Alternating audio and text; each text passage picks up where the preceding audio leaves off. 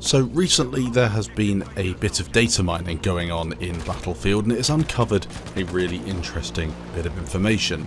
A new game mode, 32 versus 32 all-out warfare called Invasion will be coming to the game in the near future. This was data mined by Temporyal, he's the guy that usually data mines everything in Battlefield 5 including weapons, vehicles, new modes, maps and of course the big updates. Whilst he might not get everything correct, he does say, as you see with this image, info based on data mining, take it with a grain of salt. I'd also definitely stress that just because it's in the files doesn't mean it will necessarily be in the game at all. Now my opinion on data mining is really, I don't like it that much because it ruins the surprise, but if DICE aren't going to give us the teasers and trailers that we really want, and they're leaving this stuff in the game files for people to look at, we might as well cover it.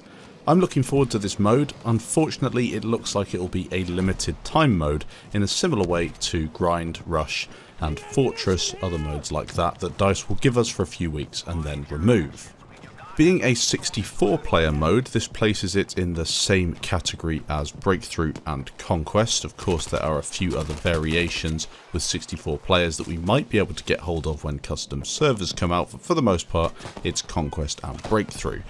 We get two rounds per map, meaning that maybe it will be one on either side in a similar way to Breakthrough where you will play as the attackers and then have a go as the defenders or maybe it's another approach with that. The idea with the mode is to destroy enemy resources whilst protecting your own and eliminate enemy troops and resources to win. Now what that means is if we look at Conquest as an example, you cap flags and kill enemies to win the game. This mode will require you to destroy the resources and kill enemy troops. Almost like you do in Conquest, you protect your flags but you also try and take other ones. In addition to those resources, you will also have a few other new things that we haven't seen in the game before. The barracks will give you the ability to spawn more troops, and the naval resources look like almost a battery onto land. No info is available, but I really think it's going to be almost like the artillery barrage but coming off one of the ships that you see on Iwo Jima, for example. We then have the tank factory, which gives players the ability to have tanks on that map. Maybe the more resources you kill or protect, the more tanks you gain access to, and the same would go for the airfield as well. If you capture the airfield, maybe you get access to planes, or if you destroy it, you prevent the enemies from gaining those planes. Finally, the radar station. This gives you the ability to spot enemy players. People are quite excited for this new mode. When I'm taking a look at the Reddit comments, I see people talking about the older battlefields. If you wanted planes in some of the older Battlefield games, you had to capture the airfield. If you wanted heavy tanks, you had to capture the flag in order to get it. In Battlefield 4, we had a lot of flag assets, which weren't always balanced, but essentially, if you captured a certain flag, a vehicle would spawn on it, and then anyone from your team could take it from the menu, or any player on the map could steal it from where it spawns. This made for some very interesting and tactical battles.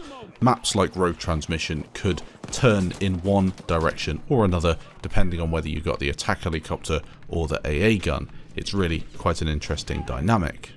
I do know from experience that DICE sometimes have trouble recreating what occurs in a public server when testing these things.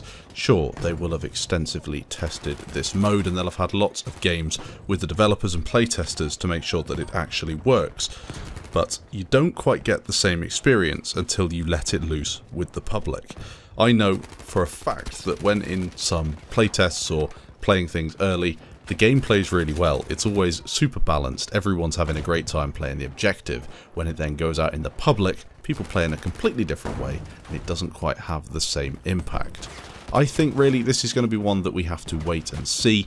Play it, for all I know it could be a massive success, but it does seem like there are lots of variables that could make this game incredibly imbalanced. Hopefully DICE also introduce a team balancer at some point in the future, maybe alongside this mode, so we can have multiple games in a row without players leaving en masse and then the server not balancing out, and that's something I really wish they would address. So just a short one today looking at this new mode. I thought it was worth letting you know because I've been wanting another 64 player mode in the game for a while, but I'm also missing some of those limited time modes that DICE decided to snatch away from us when we were all having so much fun. Thanks for watching, leave your opinions of this new mode that has been data mined down in the comments, and I'll catch you in the next video.